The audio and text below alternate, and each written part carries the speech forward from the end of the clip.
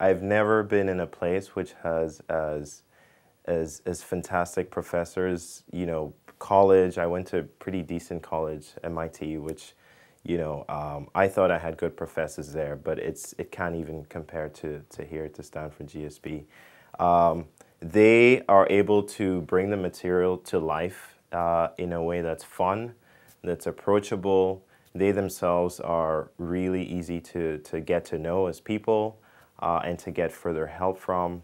Uh, my economics professor, for example, Andy uh, Skrzypacz, uh, Polish professor, young professor, really funny, interesting, and uh, really made microeconomics, uh, which one wouldn't necessarily consider the most, the most interesting subject, really approachable and fun.